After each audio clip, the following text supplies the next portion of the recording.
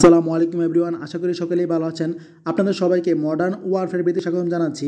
আজকে আমরা আলোচনা করব দুই হাজার বাইশ সালে বাংলাদেশ সামরিক বাহিনীর অবস্থান বিশ্বের কততম গ্লোবাল ফায়ার পাওয়ার প্রতি বছর বিশ্বের বিভিন্ন দেশের সামরিক বাহিনীর র্যাঙ্কিং করে থাকে।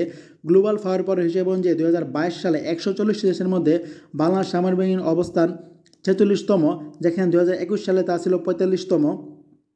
গ্লোবাল ফায়ার পাওয়ার দু সালে বাংলাদেশ সামরিক বাহিনীর অবস্থান দেখিয়েছিল ছাপ্পান্নতম, যেখানে তারা বাংলাদেশে অনেক অস্ত্র, শস্ত্র কম দেখায়, এমনকি অনেক অস্ত্র তারা শূন্য দেখায়, যেমন তারা বাংলাদেশে আটেলের বা কামাশকা শূন্য দেখেছিল কিন্তু দু হাজার একুশ সালে যখন তারা আবার নতুন র্যাঙ্কিং প্রকাশ করেছিল, সেখানে তারা বাংলাদেশে অনেক অস্ত্র, শস্ত্র নতুন করে দেখায় এবং সংখ্যা বৃদ্ধি করে দেখায়, যার ফলে বাংলাদেশের অবস্থান আট ধাপ উপরে উঠে আসে এবং বাংলাদেশের দু হাজার একুশ সালের সামরিক র্যাঙ্কিং ছিল পঁয়তাল্লিশতম।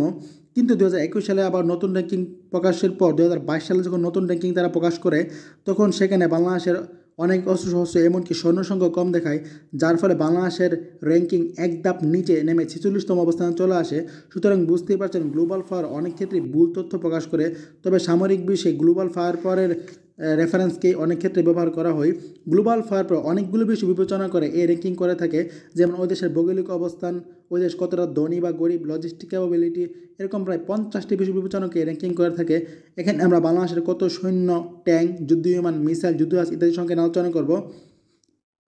যারা চ্যানেলটি সাবস্ক্রাইব করেন তারা সাবস্ক্রাইব করে আমাদের পাশে থাকুন। এখানে আমরা দু হাজার বাইশ সালে গ্লোবাল ফায়ার পাওয়ারের ভিত্তিতে বাংলাদেশের সৈন্য অস্ত্র সংখ্যা ইত্যাদি উল্লেখ করব, সেই সাথে বাংলাদেশের রিয়েল সৈন্য এবং অস্ত্র সংখ্যা উল্লেখ করার চেষ্টা করব। প্রথমে আমরা দেখব বাংলাদেশ সেনাবাহিনীর কী কী অস্ত্র এবং কত সৈন্য রয়েছে। গ্লোবাল ফায়ার পাওয়ার দুই হাজার বাইশ সালে হিসেবে অনুযায়ী বাংলাদেশের সৈন্য সংখ্যা অ্যাক্টিভ সৈন্য সংখ্যা এক লক্ষ পঁয়ষট্টি হাজার এবং আধা সামরিক বাহিনী আটষট্টি লক্ষ, যেটা পৃথিবীর সবচেয়ে বড় আধা সামরিক বাহিনী, ট্যাঙ্ক তিনশো বিশটি, আর্মড ভেহিক্যাল আটশো একত্রিশটি স্বয়ংক্রিয় কামান সাতাশটি হালকা কামান তিনশো একাত্তরটি, রকেট প্রজেক্টর উনসত্তরটি। তারপরে আমরা আলোচনা করব বাংলাদেশ নৌবাহিনী নিয়ে। বাংলাদেশ নৌবাহিনীর মোট যুদ্ধজাহাজ সংখ্যা একশত বারোটি, ফ্রিগেট ষাটটি করবেট ছয়টি, সাবমেরিন দুইটি, পেট্রোল ভেসেল বা টহলযান তিরিশটি, মাইন ওয়ারফেয়ার পাঁচটি। এবার আলোচনা করব বাংলাদেশ বিমান বাহিনী নিয়ে। বাংলাদেশ বিমান বাহিনীর মোট যুদ্ধ বিমান সংখ্যা একশো নব্বইটি দেখানো হয়েছে, যা আগের তুলনায় অনেকটাই বৃদ্ধি পেয়েছে।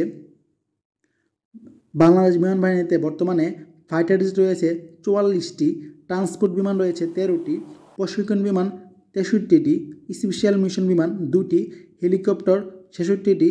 এই তথ্যগুলো গ্লোবাল ফায়ার পাওয়ার হিসাব থেকে নেওয়া হয়েছে। এছাড়াও বাংলাদেশের বর্তমানে অ্যাটাক হেলিকপ্টার এবং আধুনিক যুদ্ধ বিমান ক্রয়ের প্রক্রিয়া চলমান রয়েছে এইগুলো যুক্ত হলে বাংলাদেশের সামরিক বাহিনীর অনেকটাই শক্তিশালী হয়ে উঠবে।